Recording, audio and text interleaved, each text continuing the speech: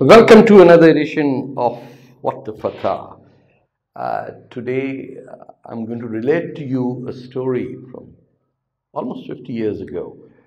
I was a young reporter in 1973, if I recall, and the Prime Minister of Pakistan at that time was Zulfikar Ali Bhutto, or Zulfi, or ZAB, or however you may call it, a tragic figure in Pakistan's history very anti-India, uh, partly responsible for the war in 1971, but ended up tragically being hung to death by another more Islamic uh, creature of Bhutto's own creation, uh, General Ziaul Haq, but I'm digressing and I'm, I'm sorry. But it was 1973 and we were sitting in the home of Mr. Bhutto in Larkana, which is a city in Sindh, Pakistan.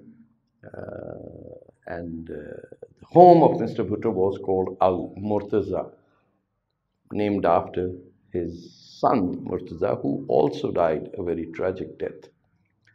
But while we were sitting around, I was quite junior, so obviously I was among the reporters the second or the third row. And something struck me, and I still can't get it out of my mind. We were discussing, the Prime Minister at that time was discussing with the reporters uh, the lessons learned from the 1971 war. And the event was a documentary that had come out of Bangladesh showing what life was in Dhaka after the birth of the new country. And Mr. Bhutto said something that I cannot erase from my mind. He said, Pakistan will also have a Bangladesh carved out of India, except it will be on Pakistan's border. This is quite intriguing, you know. Uh, some of the reporters laughed, others asked him, what did he mean? And at this time, Mr. Bhutto, I remember he had a cabinet minister, Mr. Katpar, and another gentleman, uh, Sharifuddin, not Sharifuddin, Pirzada, but his name was Pirzada, he's still alive. They were sitting there and they cackled, you know, almost laughed, and he had a cigar in his hand. And he said in Sindhi, Chado, sign, Jane do, yani, forget it. But that line struck in my head, and I asked uh, the Prime Minister's military secretary, a gentleman by the name of Brigadier Imtiaz, I said, So, what, what exactly did the PM mean by that? And he smiled. I mean, these were off the record meetings.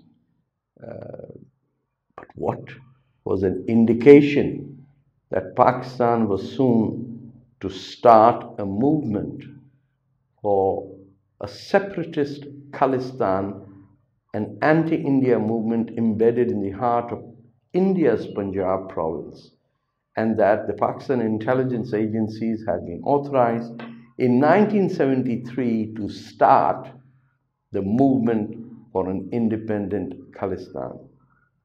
Here we are in 2020 and we still have, after tens of thousands of people have died in that adventure launched by Z.A. Bhutto to take revenge for the loss of Bangladesh in the 1971 war.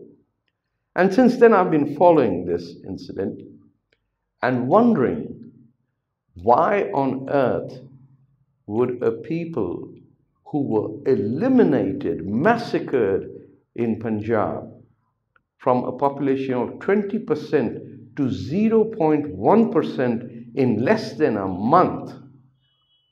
Cleared, eliminated, massacred, drowned in Rawalpindi, Multan, Lahore, places that were many times. None of the districts of Punjab had a Sikh majority other than Ludhiana, but they were spread all over. A Sikh was part and parcel of what Punjab looked like, still is eliminated by the Muslim League and the Muslim zealots who created Pakistan.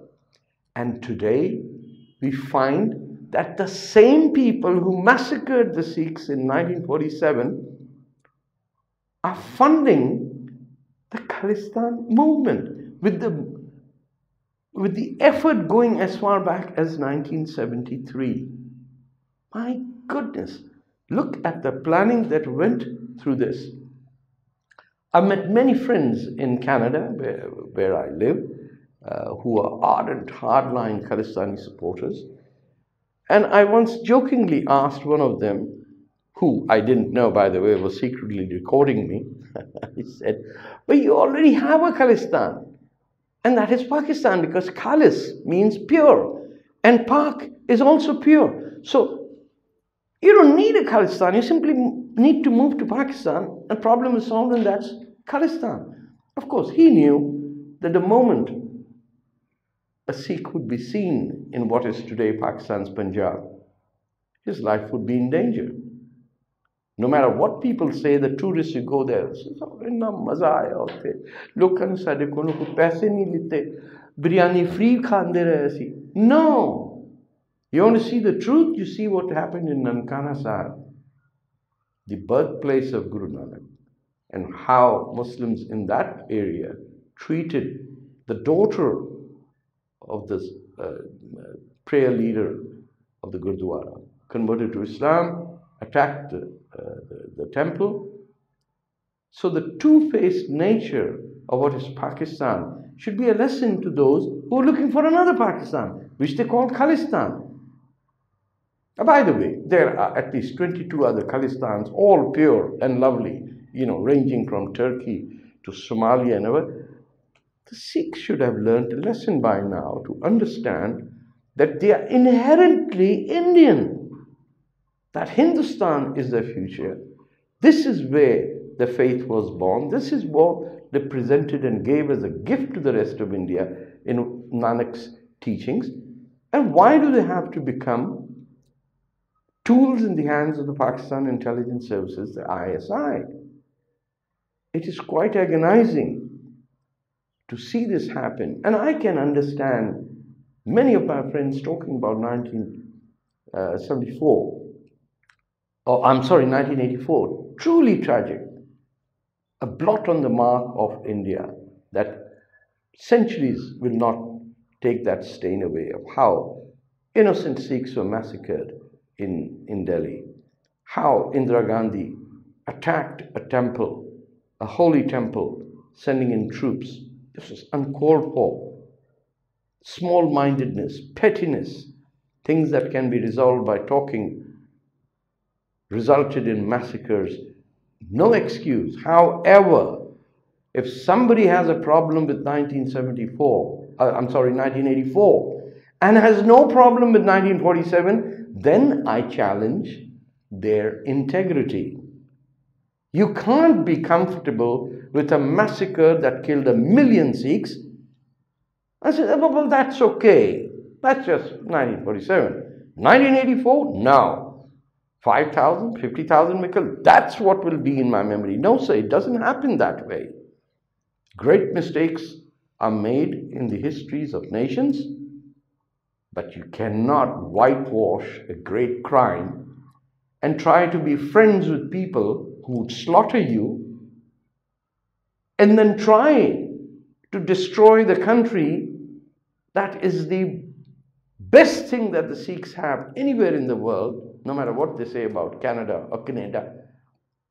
It is India. And it is not just Punjab. Sikhism spread right up to and has resources and inspiration from Bihar and everywhere. A Sikh is a member of, a proud member of the Indian family. And anyone spreading the cult of Khalistan, I have a simple message for that gentleman or lady. Sister or brother, why don't you go and try to take over Lahore, which was the capital of Maharaja Ranjit Singh, and establish your Khalistan in Gujranwala, Lahore, Rawalpindi, Khanewal, Multan, Dera Ghazi Khan, or I could name a hundred places, but of course, I won't miss Nankana Sahib. Try to establish your Khalistan where the great Nanak roamed. If you cannot establish Khalistan in Lahore, then you're just a crook. You're trying to use and get bullied and being worked out by the Pakistan ISI to inflict damage on a country that opens its doors because you are the sons and daughters of Hindustan. Whether you're Sikh, Buddha, Jain, Christian, Jewish, Muslim, it's only India that can accommodate all of us. The moment you make a Khalistan,